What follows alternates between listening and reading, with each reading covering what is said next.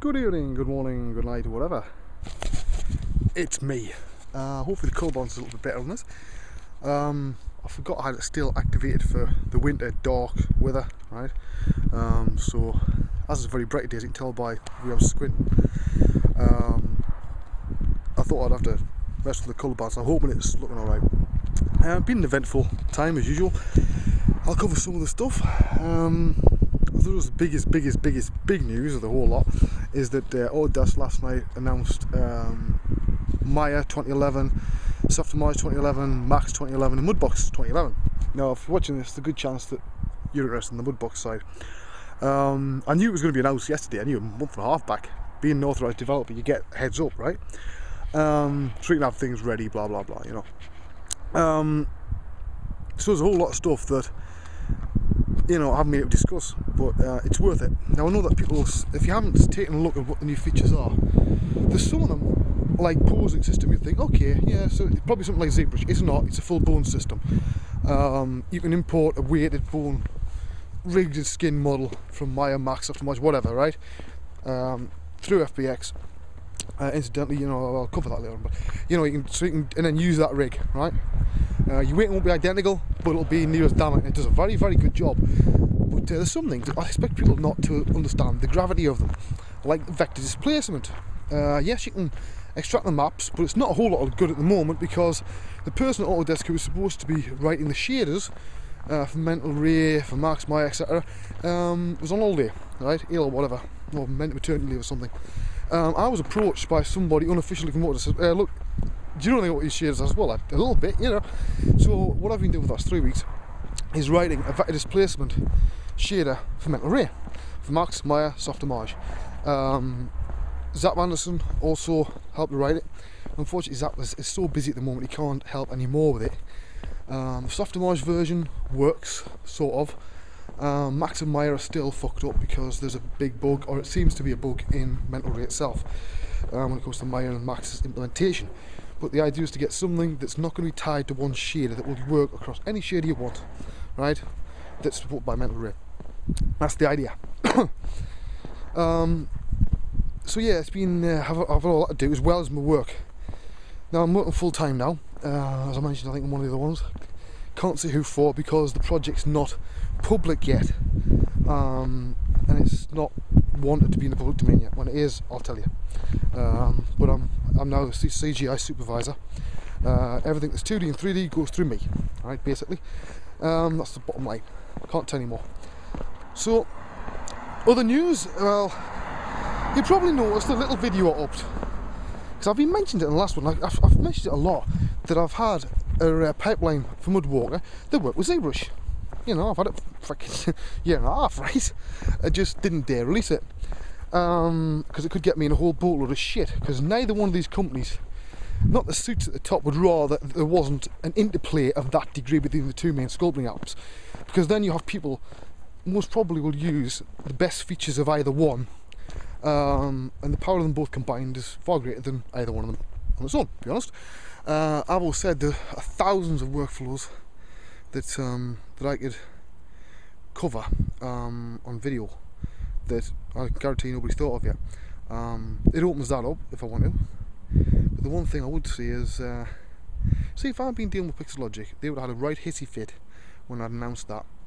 Um, there's plenty of, in fact, hundreds of plugins and scripts over the years that they've had mothballed and you cannot post on ZBrush Central. Um, there's one guy in particular, he used to post on old high end 3D and his stuff will never appear there because he's banned because he used to point out the things that were already there that they'd done for us in the future. But I'm not getting all that. Um, so it turns out that I had a little word with Autodesk and I basically sent an email with two lines in it, and one of them was which, okay, am I going to get into shit over this? Because if so, I want to know right now before I release it, because it's not really worth having two major software manufacturers that want to kill you, basically, right? And I'm not so melodramatic, but it, there's a lot of shit goes on behind the scenes in 3D. And it turns out basically their opinion is not to do with us. People can use what they like. You know, they either use our stuff or they don't. And I think fair enough, very mature of them. So, Mudwalker uh, ZBrush integration will be getting released. The code's old now, so I want to do a bit of a tidy up of it, add a few things to it. um, it does a lot of stuff that it's not um, obvious in the video and things I don't cover. There's a couple of buttons I removed, things like that, you know, for sure. But um, it will see release, right? Now, um, Mudbox has added a, uh, into action with uh, Max and uh, with well Maya at the moment, and I think they're on about Max as well. Um, basically, Mudwalker, right? Is it Mudwalker? No. The story behind it: back when it was in beta, before it was public, uh, I had a problem with the code to do with the SDK, and they were pretty sure it was a bug.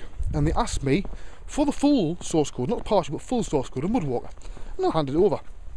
Uh, I'll let you make your own minds up as to um, whether this integration is a little bit too close. Bearing in mind there's things that I've asked for in the Mudbox here, they're still not there, right?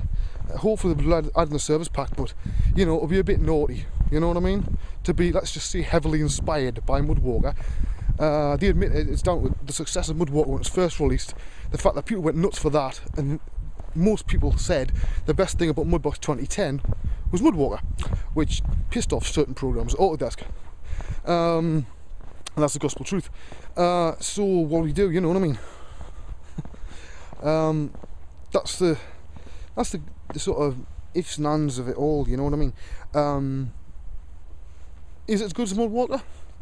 Well, there's things I had added to the SDK for FBX, not Mud, Mudbox, um, that the Mudbox guys don't have control over. Um, not that I've got any problem with them, obviously, get on well with them. Um, so, from the 2011 side, it will also support displacement uh, being passed across. Uh, it'll obviously depend on the host application's implementation of it, but it's there. And you will need the latest version of FBX. It should work, should theoretically work in the older apps as well, like Max 2010, 2008, etc. Okay? So, let's see what time is. Seven minutes. Um, but yes, yeah, so it's been been uh, uh, this see the the Maya release is basically um, a lot of that's because they're porting it over at the Qt library, so it's easier to develop across platforms. Uh, Max, very strong release. Uh, Mudbox, very strong release.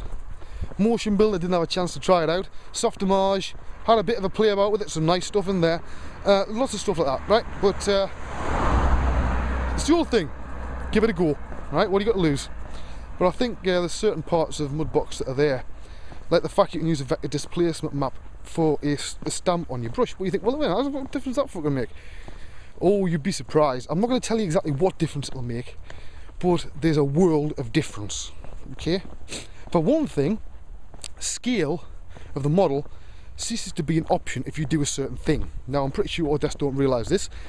Uh, no, they're the beta testers, so I'm not going to say a word about that. Um, now, I do expect a lot of people suddenly deciding that Mudbox is worth doing DVDs on. I would hope that people realise that I was there and released the first DVD on Mudbox back years ago, a practical guide, when I was back with when I was with Company X doing DVDs for them. Not to say, well, okay, Kurv Studios, right? Because bastards still owe me a lot of money. Um, and I released DVDs when nobody was using Mudbox advanced concept, which is a bit of a fucking misnomer to be honest, because it wasn't anything advanced about it. I didn't come up with the title. It was branded that afterwards.